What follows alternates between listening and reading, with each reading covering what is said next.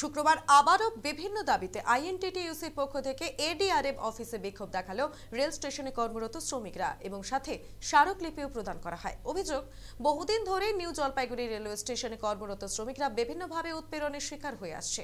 এর আগেও বহুবার এই বিষয়ে নিউ জলপাইগুড়ি কাটিহার ডিভিশনের এডিআরএমকে স্মারকলিপি দেওয়া হলেও কাজের কাজ কিছুই হয়নি। তাই শুক্রবার আইএনটিটিইউসির পক্ষ থেকে একটি প্রতিবাদী মিছিল করা হয়। আইএনটিটিইউসির দার্জিলিং জেলা প্রেসিডেন্ট নির্জল দে জানান, কেন্দ্রীয় সরকার হলো স্বৈরাচারী সরকার। তিনি জানান, অবিলম্বে তাদের দাবিগুলি না মানা হলে শ্রমিকদের স্বার্থে আন্দোলন আরও বৃহত্তর হবে।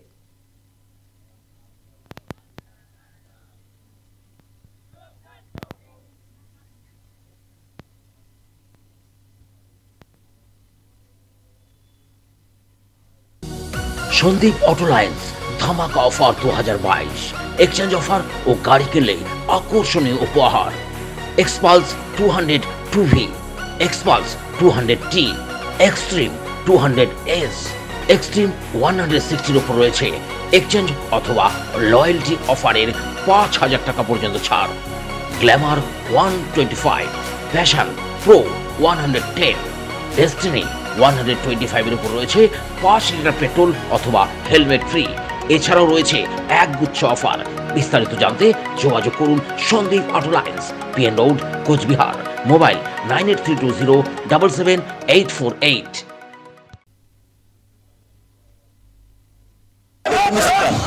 রেলের হকারদের উচ্ছেদের বিরুদ্ধে আমরা এই আজকে ডেপুটেশন দেবো একটা। আর হচ্ছে ভিন্ডারদের পুনর্বাসনের জন্য এবং যে রেলওয়ে গুড সেট আছে সেখানে পরিকাঠামো উন্নয়ন করতে হবে। তারা একতরফাভাবে লাগু করছে যে চব্বিশ ঘণ্টা শ্রমিকদের কাজ করতে হবে সেই জন্য সেই ইনফ্রাস্ট্রাকচার ওখানে তৈরি নেই। আমরা চব্বিশ ঘণ্টা শিফটিং ডিউটি করতে রাজি আছি কিন্তু সেখানে সেই ইনফ্রাস্ট্রাকচার তৈরি করতে হবে। সেই সব দাবি দেওয়া নিয়ে আমরা আজকে রেলওয়ে এরিয়া অফিসারকে ডেপুটেশন দিব। আমাদের আগামী দিন যদি এটা না মানে এর আগে তো আপনারা অনেক দাবি দাবি পেশ করেছিলেন কিন্তু হ্যাঁ। মানেনি এরা। না এরা কেন্দ্র সরকার এটা স্বৈরাচারী সরকার তারা এভাবেই চলছে। সাধারণ মানুষ গরিব মানুষের পেটে লাভ মারছে। এর বিরুদ্ধে আমাদের আন্দোলন লাগাতার চলবে।